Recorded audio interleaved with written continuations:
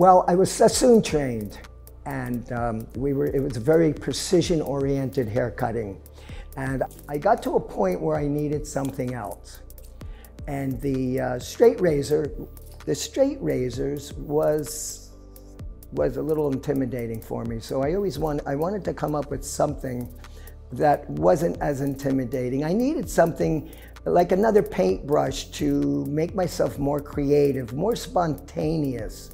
So I thought of putting razors in, uh, putting a razor in a comb. So I glued a, a razor onto a comb, and I came up with something called the, which I called it, I called it the carving comb. It's really fun to use. It's less intimidating. It makes the hair move. It gives it more texture. It makes it sexy. It does what a scissor cannot do. But, but the bottom line is it makes the hair artist more creative and more spontaneous. That's exactly what I could say. And that's what exactly what it did for me. They are now hair artists. Absolutely, because they have more paintbrushes, and I call the art tools paintbrushes because when a master or an artist creates a painting or a masterpiece, they don't create the masterpiece with one paintbrush.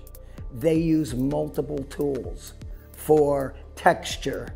Uh, they'll use a trowel to add something in the painting. That's exactly how I feel, or that's exactly how the hair artist should feel when they're using the Donald Scott uh, carving cut tools.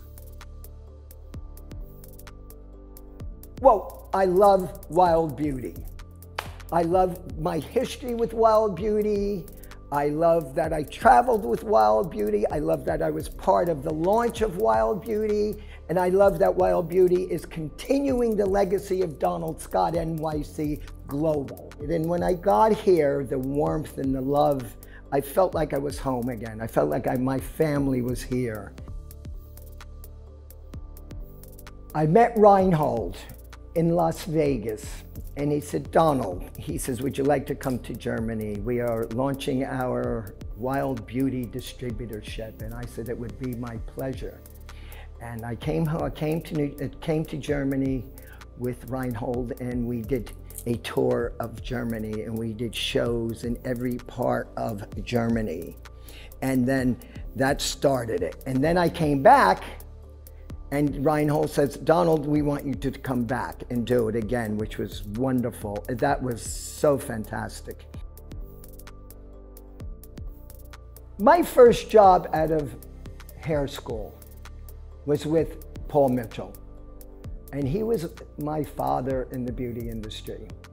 And we started out, okay? I started with Paul and Henri Bendel's, and then we went to, um, we opened up Paul Mitchell's Super Hair, and then Paul, uh, we did shows all over the country. We had the Energy Crisis Road shows.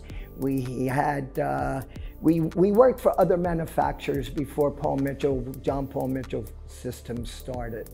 So that was my star. Paul was absolutely fantastic. He was creative. He was crazy. Uh, he was just sensational. And we just had a great time. Paul was crazy, which resulted in creativity. Paul would, Paul would do things to hair just to see what it would do. Sometimes it would work and sometimes it wouldn't work. But that's what creativity is. That's what it is. That's what innovation is.